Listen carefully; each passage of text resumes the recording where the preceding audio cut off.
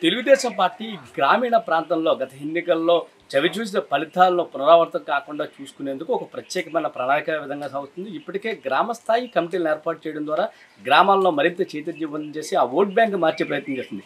దీనికి సంబంధించి గ్రామాలకు సంబంధించి ప్రత్యేక కోఆర్డినేటర్ ఏర్పాటు చేసింది. వారి అవార్డు మాటలు సార్ అసలు గ్రామీణ ప్రాంతంలో తెలుగుదేశం పార్టీ గెలవడానికి ఎటువంటి ఎత్తుగడలను ప్రారంభిస్తుంది? అంటే నేను చెప్పేదంటే ఇంటికి యాభై ఏళ్ళకి ఒక వ్యక్తిని పెట్టి ఆ వ్యక్తి ద్వారా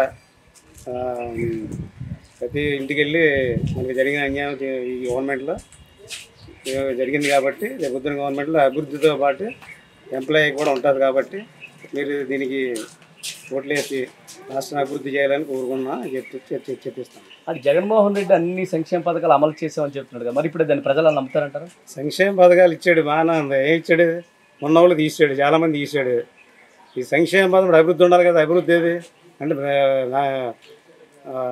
ఓటర్లని భిక్షకాల కింద తయారు చేస్తారు ఎప్పుడు ఇలాగే ఉండాలి ఎదగకూడదు రాష్ట్రంలోనే. మనం చెప్పినట్టే ఉండాలి. అది ఈ సిస్టమ్ ఇందిరాగాంధీకి ఉండేది ఇదివరకు పూర్వం.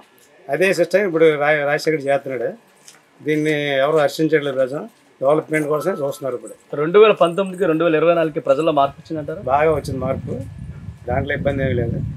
నా లెక్క ప్రకారం నూట అరవై సీట్ల వరకు టీడీపీ విన్ చేస్తుంది అంటే టీడీ టీడీపీ జనసేన టీ బీజేపీ పొత్తు నిజంగా మేలు చేకూరుతుందంటారా?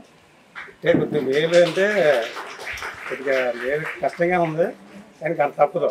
విజయాన్ని సాధించాలంటే దుర్మార్గం ఊరు దాటించాలంటే ఊరంతా ఏకం వాళ్ళు కంపల్సరీగా అందుకే ఇప్పుడు అందరూ ఏకమయ్యారు. ఎలా పంపిస్తారు ఊరు దాటి?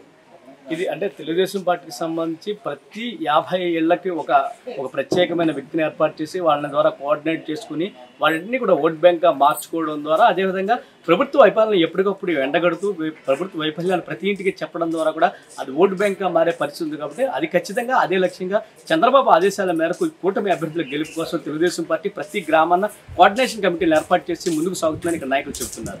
సమస్య లేని ఇల్లు ఉండదు పరిష్కారం లేని సమస్య ఉండదు. బంధాలు గొప్పవి బాధలు చిన్నవి. మీ సమస్యని మేము పరిష్కరిస్తాం. రండి మాట్లాడుకుందాం. మాట్లాడుకుందాం.